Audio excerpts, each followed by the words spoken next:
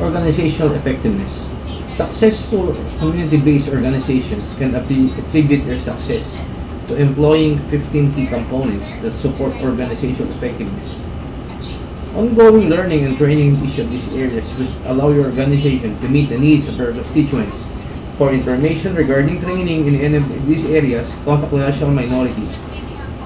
Organizational effectiveness, board development, faith-based leadership development, fiscal management, grant writing, HIV prevention, community planning, human resources, leadership development, needs assessment, program development, program evaluation, starting nonprofit, strategic planning, surviving an audit, technological development, volunteer management.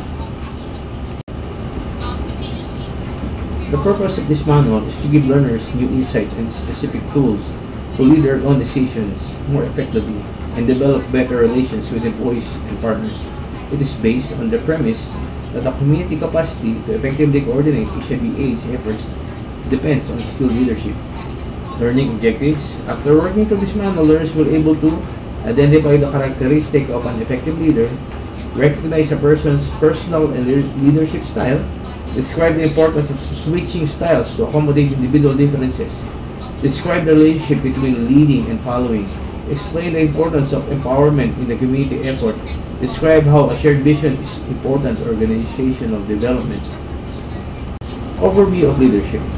Purpose to introduce several leadership theories, the application of which will be discussed in later chapters.